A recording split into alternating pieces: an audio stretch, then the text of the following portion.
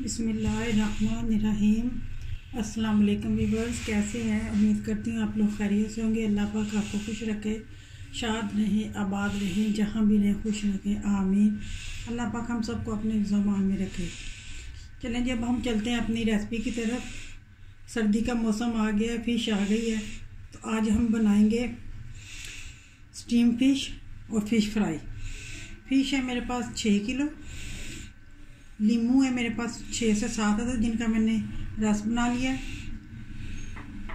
आठ चम्मच है मेरे पास सिरका, पाँच चम्मच है मेरे पास सोया सॉस, सात से आठ चम्मच है बेसन के कॉर्नफ्लोर है, सात से आठ बराबर, दोनों की क्वांटिटी एक जैसी है। लहसुन अदरक का पेस्ट है पाँच चम्मच, दरदर मिर्च है तीन चम्मच, कुटी हुई लाल मिर्च है एक चम्मच, हल्दी है एक चम्मच अजवाइन, जो मछली की जान है, वो एक चम्मच, नमक है एक चम्मच, और गरम मसाला है एक चम्मच। चलिए जी, अब हम इनको मसाला लगाते हैं। बिस्मिल्लाह सबसे पहले मछली को मैं इस परात में डालूँगी। सारे मसाले जो मिक्स करके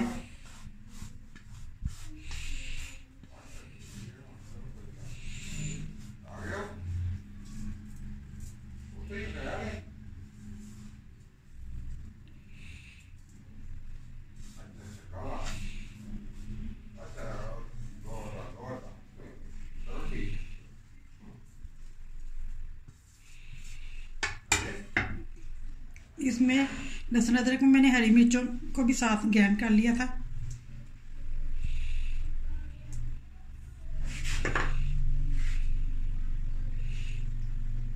सोया सॉस सिरका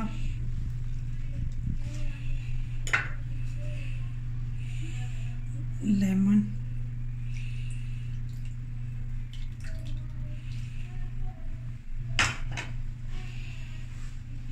कॉर्नफ्लोर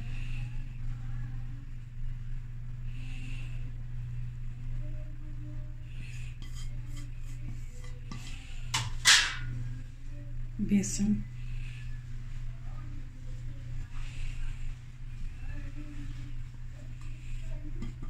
अब मैं हाथ की मदद से इसको अच्छी तरह मिक्स करूँगी। ज़्यादा थी, बर्तन छोटा है। इसलिए मैंने इसको एक बड़े टब में डाल लिया। अब इसमें इसमें अच्छी तरह मैं इसको मिक्स करूँगी।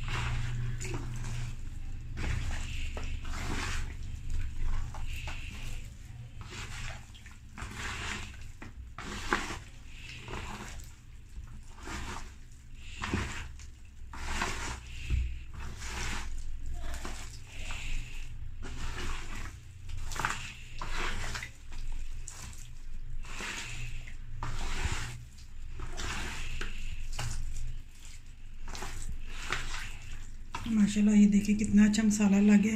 कम अज़ कम इसको पंद्रह से बीस घंटे के लिए फ्रिज में मैं रखूँगी।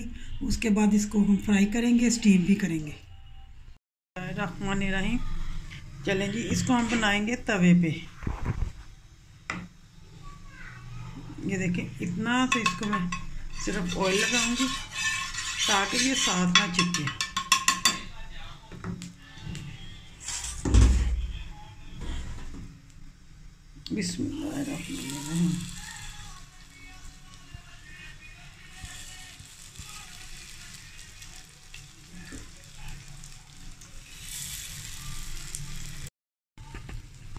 देखें जी, माशाल्लाह कितना ज़बरदस्त कलर आ रहा है इसको। अब हम इसकी साइड चेंज करते हैं। बिस क्योंकि ये स्टीम में ही पक जाएगी, इसी तरह, इसी बाफ में।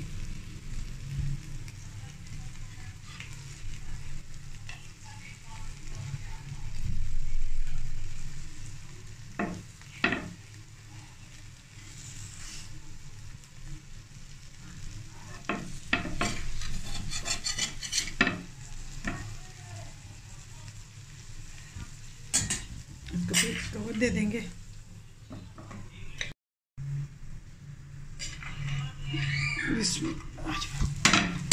जी, माशाल्लाह। सिर्फ़ हाफ़ चम्मच मैंने डाला था घी का। तो कितना ज़बरदस्त इसका कलर आया है। और अब इसे हम करते हैं डिश आउट। माशाल्लाह, देखें जी, कितनी ज़बरदस्त बनी है तवा फ़िश। इसको बनाएँ, इसको खाएँ। दही के साथ, चाहे आप खट्टी मीठी चटनी के साथ कैचअप के साथ। अगर आपको मेरी रेसिपी पसंद आए, मेरे चैनल को लाइक करें, सब्सक्राइब करें और बेल आइकन का बटन प्रेस करें ताकि मेरी हर आने वाली वीडियो आप तक पहुँच सके। अल्लाह हाफिज़।